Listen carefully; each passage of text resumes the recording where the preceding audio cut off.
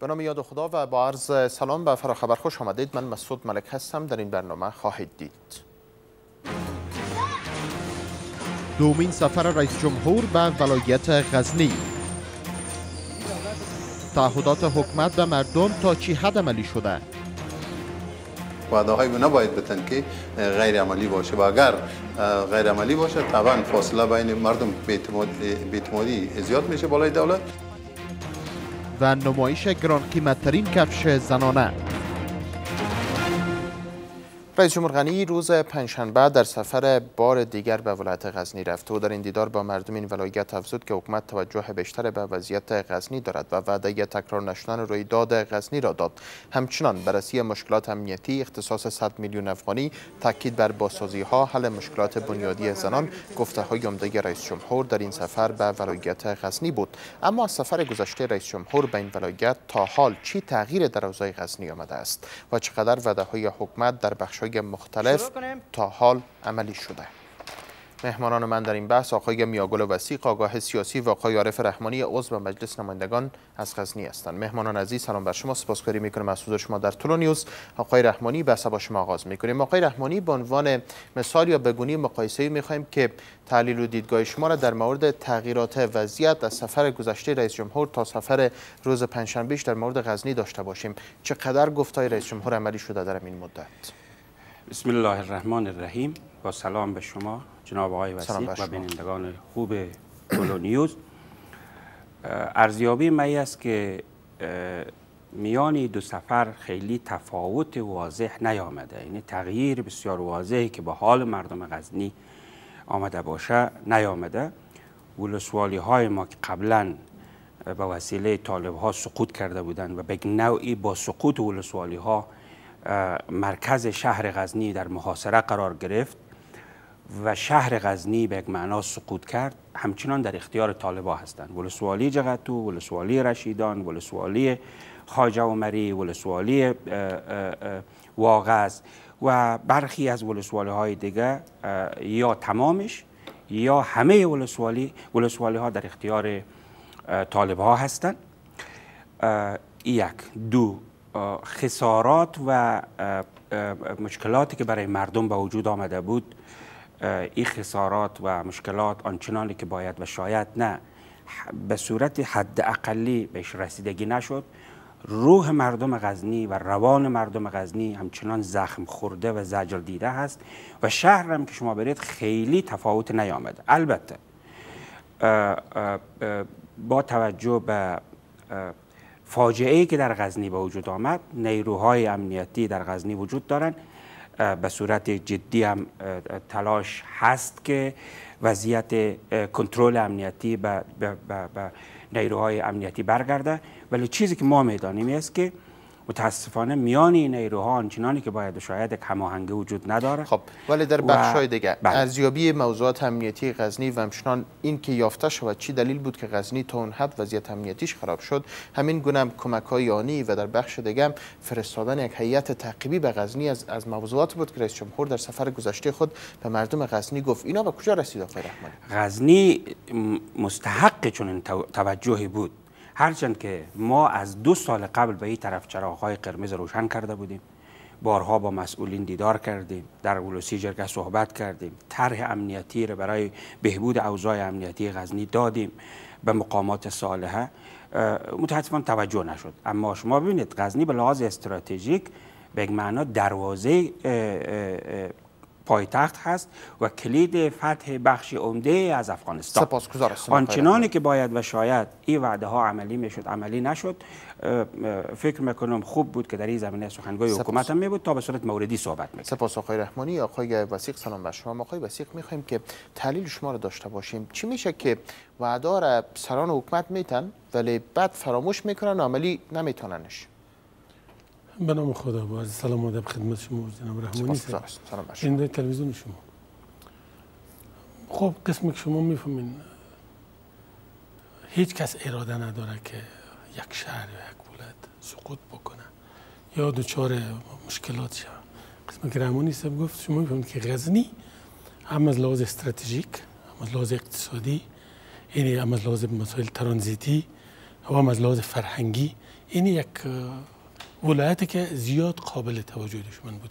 از یک طرف شما می‌فهمید که از طرف سطح دنیا به مسابقه ولایتی که این مرکز تمدن فرهنگ اسلامی نامیده شد یک جهت بود که خب جلب توجه دشمن می‌کنه که چطور بتونن اخلال بکنن. از طرف دیگه از لحاظ امنیتی شما می‌فهمین که مسدود بودن غزنی و یا تسلط مخالفین در غزنی. این خودش تهدید به پایتخت یا به کابل هست. از طرف دیگه موضوع ترانزیت است. شما می‌فهمین که یعنی غرب افغانستان کاملا از طریق غزنی وصل میشه به کابل و همچنان مسائل اقتصادی و ولایاتی که در اطراف غزنی است که یعنی رابطه میشه. این بله. کلش باعث میشه که اهمیت غزنی را دوات بالا بره که توجهی خب هر کدام از مناطق در افغانستان اهمیت خاص خود داره. ولی غزنی با اینمی خصوصیاتی که برشمردیم خودش باعث میشه که دشمن توجه زیاد خب با این ویژگی که غزنی داره و همچنان مهمیتی که برای حکومت داره به این روی سوال من چی میشه که وعده میتن و بعد عملی نمیشه و فراموش میشه؟ من فکر می‌کنم فراموش نشده. تا جایی که من اطلاع دارم خب بعد سقوط غزنی یعنی که سقوط نبود البته شکستن همو کمربندهای امنیتی و داخل شهر شدن این خودش یک مقدار بینظمی ها را و ویرانی ها را و ایگه بار آورد که با رفتن بار اول رئیس جمهور به غزنی و توجهی که دولت کرد.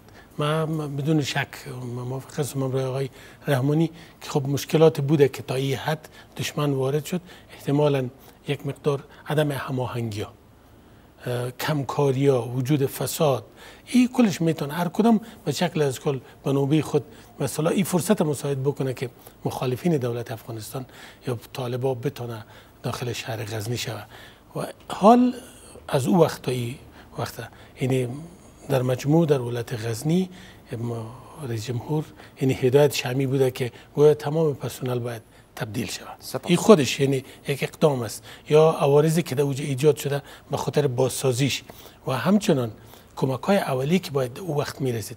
یعنی فکر می‌کنم بسیار با سرعت تا حد ممکن. یعنی کوشش کردن یا برسن آقای وسیق آقای رحمانی چگونگی برخورد حکومت پیشترم در مورد صحبت شد. ولی برخورد گونه بوده که مردم انتظار داشته واقعش اینه که چون جراحت بسیار بسیار وسیع بوده برخلاف فرمایشات دوست عزیز ما جناب آقای وسیق ما به خاطر آبروداری نمیگیم. و الا غیر از قماندانی امنیه. که در قماندانی امنیه پسر عموی ما شهید شد. یعنی ما خیلی دقیق اطلاع داریم. غیر از خود تعمیر امنیت ملی و ولایت که نه حد اکثر یک کیلومتر هم در بر نمی‌گیره. دیگه تمام غزنی سقوط کرده بود. یعنی طالب بر تمام بخش ها مسلط بود. یک اتفاق نظامی افتاد که او آمر امنیه در ولسوالی بود. وقتی که آمد آمر امنیه یک آدم بسیار جنگی است آدم های توانمندی. اینا شروع کردن بخش های از در واقع اطراف معذرت بخوام بخش های از شهر را آزاد کردن و تانستن قماندان بیرون شوه امنیت ملی مقاومت بکنه و اینا. جراحت بسیار آشکار است و فاجعه بسیار وسیع صورت گرفته. اما دولت ما برخلاف آنچه که رئیس جمهور احتمام کرده و رفته و دو بار رفته و, و, و دستورات لازم رو داده به لحاظ توجه و احتمام و بروکراسی که هست یا مشکلاتی که دارن آنچنانی که باید شاید به شهروندان غزنی نرسه. آقای رحمانی دو بس بین در موردش واضح صحبت چرا؟ اولی که فکر می‌کنه حکومت توانایی نداره که بتونه رستگی گونه داشته باشه که انتظار است یا یک اراده وجود نداره؟ ببینید حکومت ما اینمی است. یعنی است که ما دو سال تمام را با حکومت صحبت کردیم در سطح مشاورت امنیت ملی در سطح آقای عبدالله غیر مستقیم با رئیس جمهور چون رئیس جمهور خب ما را وکلای مردم نمی‌بینه و ندید اصلا. حداقل بحث غزنی رو ما مطرح کردیم با وزرای امنیتی. ولی همیشه گفته می‌شد که ما توجه می‌کنیم همیشه گفته می‌شد که ما امکانات بدیم و همیشه گفته می‌شد که خب در کمربندهای شهرها و ولسوالی ها مشکل مشکلات داریم ولی در داخل شهر مشکلات نخواهد بود. یک که بالاخره حکومت مهمی است حکومت با پوزشی بحث تا لحظات بعد ادامه خواهیم داد بیننده فراخبرم پس از میان برنامه باشید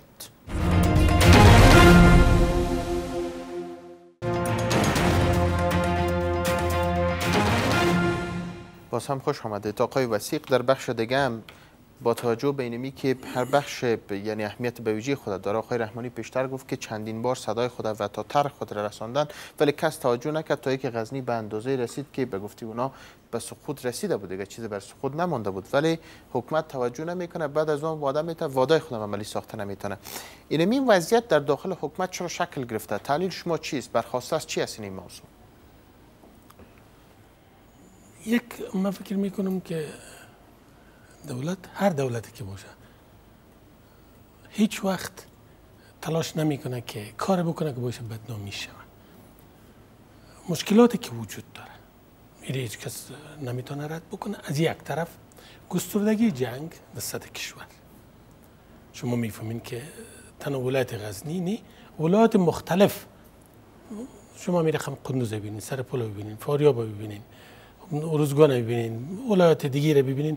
این بار بار این فشارها در ولایت مختلف بوده و دشمن تلاش کرده تا ای که بتانه جایی رو سقوط بده. این خودش و دی خوشبختانه که اکثرا ناکام است. و این نتیجه تلاش سرباز و افسر که در اموجه مقاومت کردن دفاع کردن و بالاخره دشمن به این آرزویی که داشته موفق نشده. من پیشتر اشاره داشتم که هیچ کسی این کار کرده نمی‌تونه. رئیس جمهور می‌خواد کمی کار رو بکنه. ولی کمکاری دقیق وجود داره. و از این کمکاری فکر نمی‌کنین که رئیس جمهور آگانی ساخای وسیق نمی‌فهمه که مشکل در کجاست خب و یک یک شما با یقین که متوجه هست. با یقین که می‌فهمن. ولی اینمی دار و ندار امی وطن از سرکی زیاد اعتماد بکنه؟ به هر کس که اعتماد می‌کنه و او اعتماد طوری که شاید و باید یعنی اکثرا متاسفانه با مشکل مواجه میشه یعنی شما میگین تا حال رئیس جمهور فرد را نفته که کاملا سرش اعتماد بکنه. ببینین وضعیت طوری آمده که در اینجا اکثرا متاسفانه یک فرهنگ مسلط شده که اکثرا کتگوری های مختلف هر کدام تا هنوز هم به شکل از اشکال در هر گوشه نشستن و با نامه ها و القاب مختلف یعنی خواهان امتیازات بودن. با حفظ احترام وکیل صاحب شاید اکثر از وکلا هم علاقه مندی داشته که یک جای یک کسش ولسوال باشه یک کسش قماندان باشه. همین رقم به نام رهبر یا به نام کسی دیگه به نام کسی دیگه یعنی خان امتیازات بوده. از یک طرف شما بله. باید کار را بکنید دیگه انتظار مردم است و ای که مردم هم پرتوقع می‌سازه حکومت. حالا فکر نمی مناسبی است که نظر به شرایط حکومت صحبت بکنه. وقتی که توانایی انجام یک کار نداره نزن حرف ازش. ببینین حال حکومت گفته که شهرسازی ماستر پلان شهر غزنی را بسازه. بله. چی مشکل داره. شهرسازی باید بسازه دیگه. که باید بسازه. ولی آقای رحمانی بیشتر گفت که از سفر گذشته تا فعلا رئیس جمهور وعده از سفر گذشته. از لحاظ امنیتی شما می‌فهمین که خواستن که کمربندهای امنیتی در حومه شهر باید مستحکم شود. و حتی فراتر از او اگر بتانن که فراتر یعنی که سایر ولایت که وصل می‌کنه با با غزنی که در اوج هم استحکامات وجود داشته باشه. ولی طی اینمی مدت طالبا از شهر رانده شد کوشش شد که دوباره به اصطلاح اما احتمال نفوذ یا دخولشان به شهر غزنی این احتمال به حد اقل برسه و بعدا با شروع بکنن به بازسازی. این نمیشه که آنن با بازسازی صورت بگیره و در بار که رفتن این فضا برای آماده است. نسبی نسبت به گذشته. که هم در لحاظ فرهنگی که معارف تحصیلات عالی و بخش و همچنان از لحاظ بازسازی آقای رحمانی در یک بخش گونه وضعیت آمده و گفته آقای وسیق که گروه امتیازگیری می‌کنن و این مشکل ساز شده بر حکومت که وعده خود عملی بسازه. ولی آقای وسیق یک بخش دیگر هم اشاره کرد که حالا فضا مناسب تر شده و میشه که کارا حکومت انجام بده. حالا از که داده مثلا اختصاص 100 میلیون همین رقم هم ساخت تعمیر حل مشکلات پنتون غزنی ایجاد پارک تعلیمی و تحصیلی اعمار مسجد جامع غزنی وصل شدن مکاتب به اینترنت و می رقم هم تشویق مردم در بخش امنیتی قابل درک خوانده اعتماد دارین به این وعده تازه؟ نه. ببینید رئیس جمهور به لحاظ ایده خیلی قشنگ ایده خود مطرح می‌کنه. و به همین لازم بود که اکثریت کسانی که در مناظرات با ایشان شرکت می‌کرد خب می‌دید که ایشان یک ذهن بسیار پروگرام شده داره. ولی وقت در مقام اجرا میایه ایده هایش در مقام اجرا دچار مشکل میشه چون کسانی را انتخاب می‌کنه با کسانی کار می‌کنه که اونا توانمندی لازم را ندارن استعداد لازم را ندارن سواد لازم را ندارن علم لازم را ندارن. یک.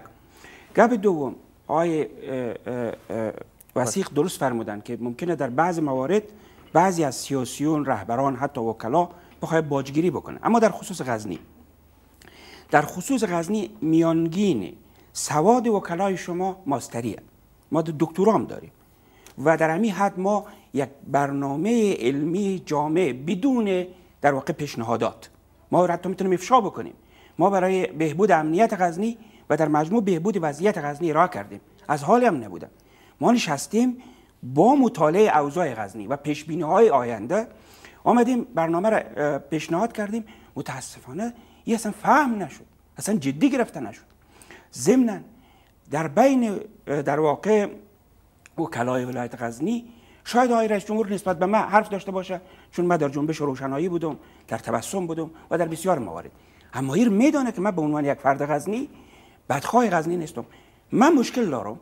اما سایر وکلا چرا به هیچ وجه باشان در واقع تماس گرفته نمیشه؟ خب برخواست از چی می‌دانین؟ شما اینمی اینمی موضوعی که شرح کردین آقای رحمانی. دلیلش در رئیس جمهور آدمی هست که به لحاظ ذهن در واقع علمی یک آدمی است که به حال آدم بروزیه اما به لحاظ ظرفیت سیاسی اخلاق سیاسی نگاه مدیریتی به عنوان یک رهبر در آینده من فکر می‌کنم که اگر توهین نباشه من قصد توهین ندارم.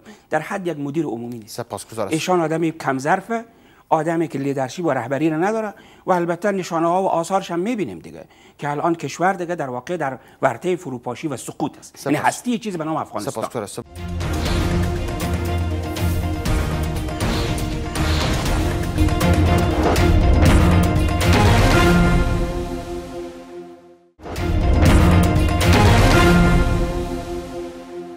آقای وسیق به امون عملکردها و ظرفیت‌های رئیس جمهور آقای رحمانی زیر پرسش بردن. می‌خوایم تحلیل شما رو داشته باشیم که واقعا همین گونه است که در گفتار خوب هستند ولی در وقتی که زمان اجرا می‌رسه و عملی ساختنش مشکلات زیاد دارن.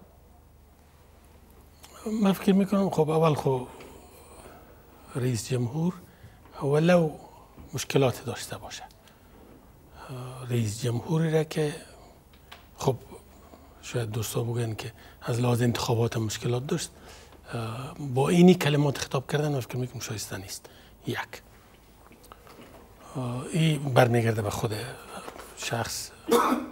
ثانیا رئیس جمهور کل کارا را خودش نمی‌کنه. به این که انصافا بگوییم. رئیس جمهور برای ما وظیفه میته برای شما وظیفه میته برای کس دیگه وظیفه میته برمیگرده به اینمی اطرافیا برمیگرده به امی مسئولین اموی که خوب در جای عمل کرده. امو رو بر من نشان که او بسیار آدم خوب بوده و بسیار خوبش عمل کرده. آقای وسیع پیشتر این موضوع را آقای رحمانی بله. اشاره کرد. میگه افراد را می‌گیره که تجربه ندارن سواد ندارن و تا میگن که نمی‌فهمن چه رقم کار بکنه یعنی می رقم افراد یا می رقم نیروی اجرایی را چرا رئیس جمهور در گرد خود جمع میاره چرا آدمای شایسته استخدام من فکر می‌کنم خب نمی‌تونیم یک سرای گپ بگوییم. خب در بخشای بله. در بخشای امکان داره ای گپ باشه. ولی ثانیا ما پیشتر اشاره داشتم که اشخاص و افراد ببینین چی می‌تونه ما را به موافقت برسانه؟ به نظر من دو چیز بسیار عمده هست یک وحدت ما.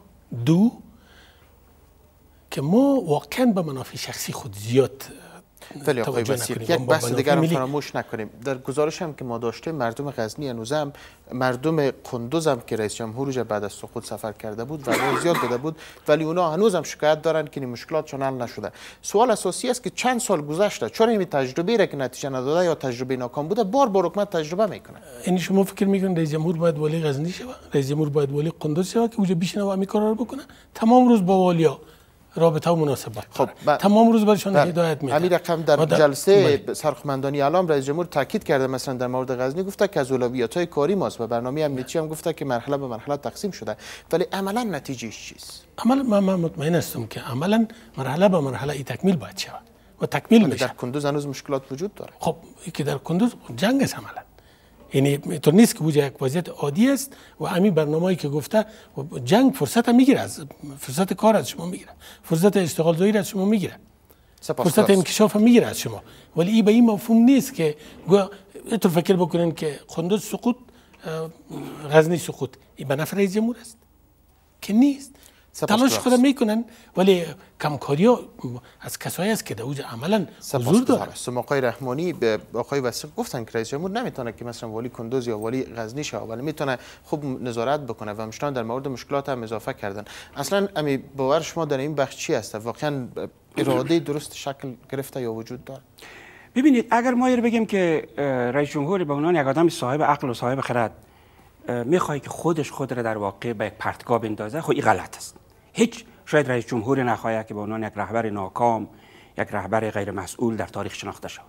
کیه که می‌خواد انتحار سیاسی بکنه؟ ولی وقتی که وقتی که رئیس معارف ما انتخاب میشه که یک بچه جوانی هست ما امیدوار هستم اهانت نشه ما به اونون مورد عرض می‌کنم. یک بچه که لیسانس داره و تجربه لازم نداره و آقای وسیق رو می‌بینه. این قرار 11 و نیم هزار پرسنل معارف را در غزنی فعال بکنه در حالی که در همین کشور در بیخ گوش رئیس جمهور ما کسی رو داریم که دکترای تعلیم و تربیه از نیوزلند داره از ایران هم نداره. نیوزلند داره و, و ده سال تجربه کاری در واقع تربیتی کرده این آدم باید بیکار باشه. دکترای مدیریت داریم مخصوصا مدیریت ساختارها. دکترا داره پی اچ دی داره ولی در سرگاه کابل گرد می‌خوره. اجازه بدین من می‌تونم صحبت بکنم. ما کسی رو داریم که سابقه 20 سال تجربه ریاست دانشگاه رو داره و الانم کار خوب می‌کنه. این رو نمیمانیم که در اونجا کار بکنه. پس وقتی ببینید اجازه بدید. کسی رو داریم که دکترای سازی از دانشگاه از یک از بهترین دانشگاه های ژاپن داره. کتاب نوشته کرد. 12 سال تجربه اداری داره. پیامد اینمی وضعیت چی می‌تونه باشه؟ وقتی رئیس جمهور سراغ اینا نمیره اینا رو حتی نمی‌بینه به اینا مجال داده نمیشه. بعد نتیجه چی میشه؟ نتیجهش والی محترمی هست که شاید سابقه دو روز کار اداری نداره. رئیس دانشگاهی هست که غرق در فساد غرق در تعصب غرق در واقع جهالت در خیلی کوتاه. فرصت باقی مانده که حکومت دوباره اعتماد مردم جلب بکنه. یک و تعریف شما از این وضعیت کلی با این وعده چی است؟ کوتاه بگوین من صدای شکستن استخوان‌های حکومت نه. یعنی سرزمین دارم میشنوم. ما این هشدار داده بودیم. یکی در ارگ امنیت و یک بحث دیگه است. پس فرصت باقی مانده که دوباره اعتماد جلب هیچ نوع فرصت دیگه نمانده. بهترین کارمی است که رئیس جمهور شرافتمندانه اخلاقی بیای بگه از ملت افغانستان معذرت بخواه و کنار بره. نمی‌تونه اداره بکنه این کشور نمی‌تونه این کشور رهبری بکنه. و, و, و حالی که در واقع ظرفیت اداره کشور نداره شجاعت اخلاقی رو داشته باشه که از مردم معذرت خواهی کنه و استعفا. و پایان فراخبر. وقت بخیر. خدا نگهدار.